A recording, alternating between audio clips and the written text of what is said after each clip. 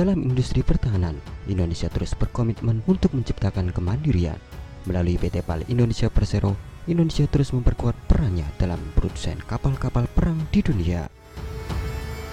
Filipina menjadi salah satu negara yang mempercayakan PT PAL Indonesia Persero untuk memperkuat armada lautnya.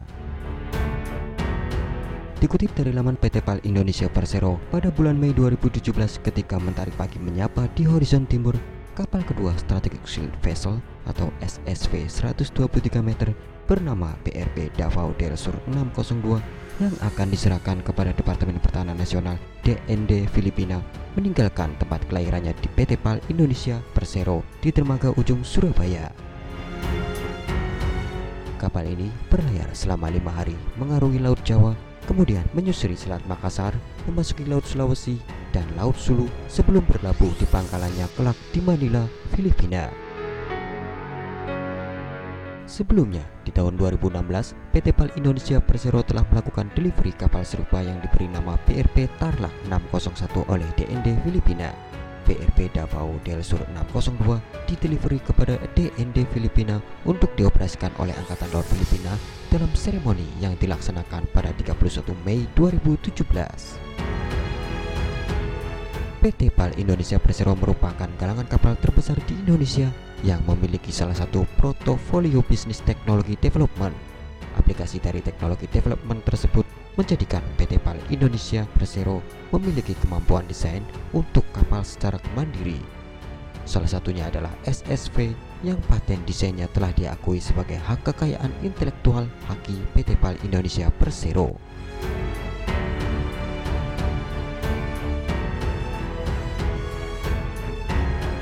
Paten desain tersebut dikeluarkan oleh Kementerian Hukum dan Hak Asasi Manusia Republik Indonesia dengan nomor paten IDP 00054364 pada 1 November 2018 sehingga PT PAL Indonesia Persero adalah satu-satunya kalangan di dunia yang berhak melakukan rancangan dan bangun produk kapal SSV serta varian-varian pengembangannya.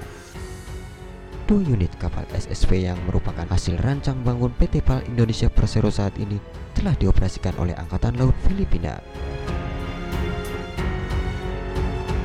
SSV 123 meter merupakan famili dari kapal landing platform dock LPD yang dirancang bangun serta merupakan trademark PT PAL Indonesia Persero. Memiliki fungsi asasi sebagai kapal pendukung atau support dalam pelaksanaan operasi militer. Dalam strategi peperangan laut modern, kapal SSV memiliki nilai strategis karena mampu menghadirkan efek kejut atau pendadakan strategis terhadap musuh melalui kapabilitasnya untuk menerjunkan pasukan penaruh tempur secara cepat dan masif di pantai garis depan musuh. Kapal tersebut naturnya merupakan kapal pendukung operasi militer perang atau Military Operation War pada masa damai, kapal tersebut dapat difungsikan dalam operasi militer selain perang atau OMSP.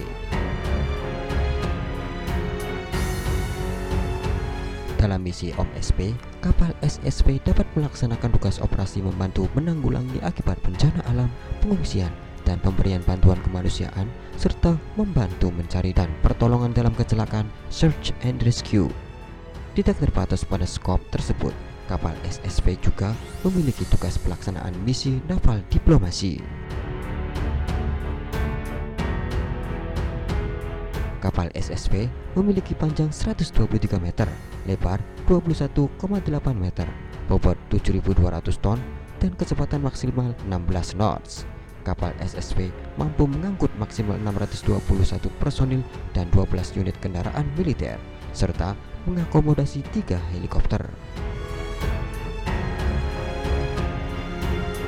Masing-masing dilengkapi dengan dua unit wahana pendarat LCU 23 meter untuk menerjunkan pasukan pendarat tempur di wilayah pantai musuh dan dua unit Rocket Hull Inflatable Boats atau RHIB untuk melaksanakan misi strategis anti terorisme laut dan inspeksi. Jangkauan operasi kapal tersebut minimal 7.500 mil laut. Saat ini, kedua SSV yang dioperasikan oleh Angkatan Laut Filipina merupakan support terbesar dan tercanggih yang dimiliki. Kapal pertama BRP Tarlak 601 dikirim PT PAL pada tahun 2016 dan diikuti kapal kedua BRP Davao del Sur 602 satu tahun kemudian. Kedua kapal SSP tersebut segera mengikuti misi operasi tempur untuk memberantas pemberontak dan terorisme di Filipina Selatan yang berfungsi kapal komando sekaligus kapal penerjun pasukan pendarat tempur untuk melaksanakan serangan pendadakan strategis terhadap basis pemberontak dan teroris. Dengan hadirnya kedua kapal SSV, operasi berjalan semakin efektif dan efisien. Selain digunakan untuk misi operasi tempur maupun non-tempur di dalam negeri, BRP Talak 601 pada bulan September hingga Oktober 2018 menjalani kunjungan ke pangkalan armada Pasifik Rusia di Vladivostok. Kunjungan tersebut merupakan bagian dari fungsi naval diplomasi dan menunjukkan performa kapal SSP tersebut. Betapa tidak, untuk menuju Vladivostok, kapal mengarungi wilayah yang memiliki tensi tinggi, yaitu perairan Laut Tiongkok Selatan dan Asia Timur, serta mengarungi Samudra Pasifik Utara di musim dingin. Setahun kemudian giliran PRV Davao del Sur 602 mengikuti Russian Navy Day di Rusia pada bulan Juli. Kapal tersebut bertolak kembali ke Filipina dari Vladivostok pada bulan Agustus di tahun yang sama. Tidak hanya mengarungi samudera menuju belahan bumi utara, BRP Davao del Sur 602 juga melakukan pelayaran lintas Samudra Pasifik secara prima untuk mengikuti latihan militer matra laut terbesar di dunia RIMPAC 2018 di Hawaii, Amerika Serikat. Bergabung dengan kapal-kapal kombatan dari seluruh dunia termasuk Indonesia, BRP Davao del Sur 602 menunjukkan performa prima dan mempresentasikan national pride masyarakat Filipina.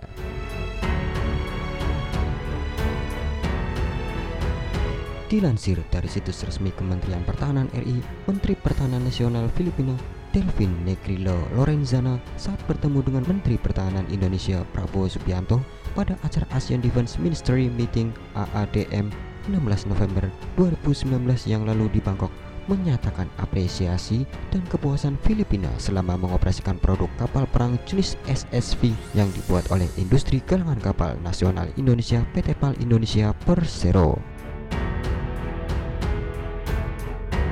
Reputasi kapal SSP atau LPD produksi PT PAL Indonesia Persero yang semakin mendunia menarik minat banyak negara. Beberapa negara mengajukan penawaran dengan spesifikasi kebutuhannya. Malaysia misalnya menyebut LPD dengan Multi Role Support Ship atau MRSS dengan spesifikasi panjang 163 meter. Sementara Uni Emirat Arab melakukan penjajakan untuk pengadaan LPD 163 meter. Senegal, sebuah negara di kawasan Afrika Barat, juga menaruh minat pada kapal LPG produksi PT PAL Indonesia Persero. Selain beberapa negara di atas, pemerintah Filipina yang sangat puas dengan performa SSV-nya berencana untuk memesan dua buah kapal SSV lagi dari PT PAL Indonesia Persero untuk memperkuat angkatan lautnya.